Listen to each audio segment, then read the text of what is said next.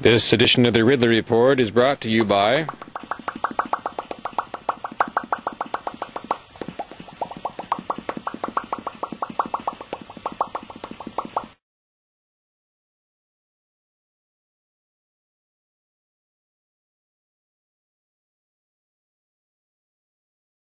Where he go? Where he go? Let's look at uh, the other driving human desire the desire for. I guess the estimates now would indicate that about 15% or 20% of Americans are roughly 90% libertarian. Probably 50% of Americans are willing to occasionally push for some sort of freedom on at least one issue. Their wishes, coupled with the decentralization of manufacturing will presumably lead to certain types of freedom technologies being mass produced. The Liberator gun is an early example. One freedom related thing people want is answers to certain conspiratorial type of questions. You'll probably see software developed that can uh, look at old newsreels and determine whether people were lying technology may eventually uh, solve once and for all some of the questions, the big burning questions who murdered JFK, exactly how did the Gulf of Tonkin incident come about, and how did it play out?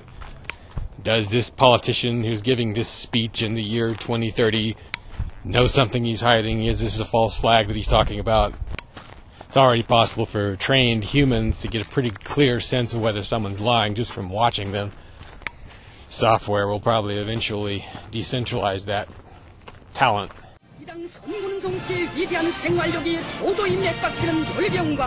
Authorities in some places will probably react by turning the law backwards. So that instead of having a list of things that are illegal, you have a list of things that are legal, that are allowed. Everything else is forbidden or licensed.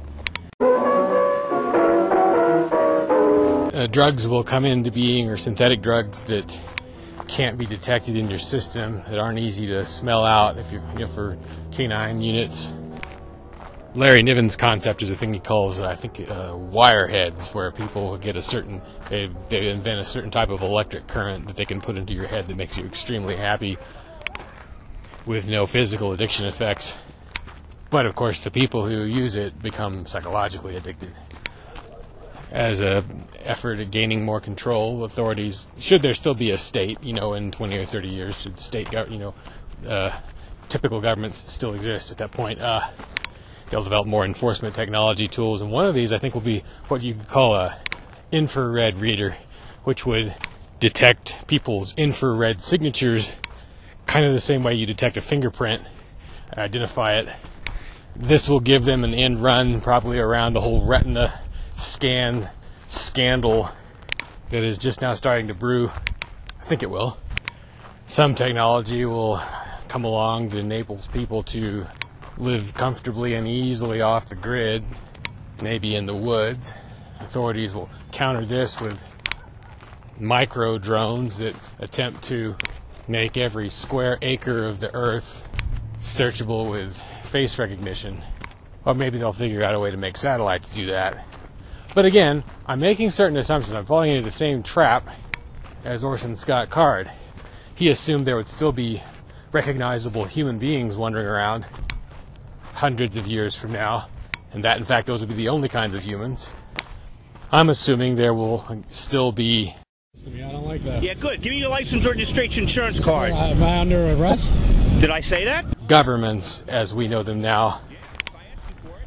I shouldn't assume that.